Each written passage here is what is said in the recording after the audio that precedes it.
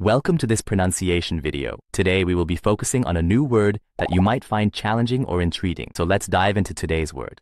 Truppen, which means, Soldiers or troops, typically referring to a group of soldiers. let's say it all together. Truppen. Truppen. Truppen. One more time. Truppen. Truppen. Truppen.